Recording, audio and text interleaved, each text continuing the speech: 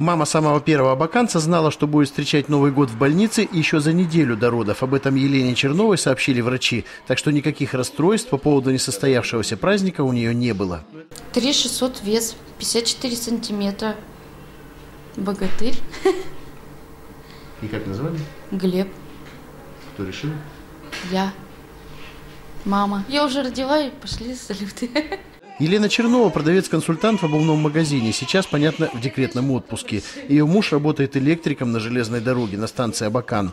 Ребенок первый, но, наверное, не единственный. Елена смеется, что теперь хотят девочку, помощницу. Ее соседка по палате, Светлана Котникова, пятью часами позже родила себе такую помощницу, Елизавету. Но в их семье это уже вторая девочка. У нас назвала старшая дочь Катя. Старшая девочка.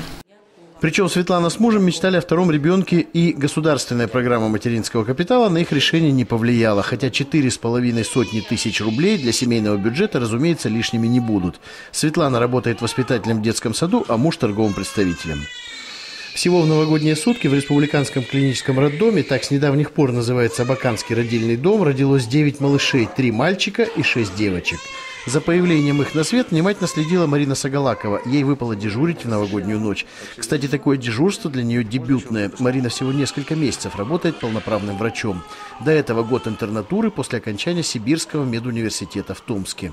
Первое дежурство обещало быть волшебным, так и получилось. После боя курантов нас сразу позвали на первые роды, получается, 1 января, которые произошли в 12.15.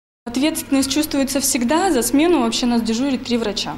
Всегда есть ответственный дежурный врач, который более опытный, и получается три доктора, один ответственный и третий самый молодой. Дежурство выдалось относительно спокойным. Марина Яковлевна говорит, что ни осложнений, ни кесарево сечения не было. Всего в 2015-м в республиканском роддоме появилось на свет более трех с половиной тысяч малышей. Это рекорд последних 23 лет.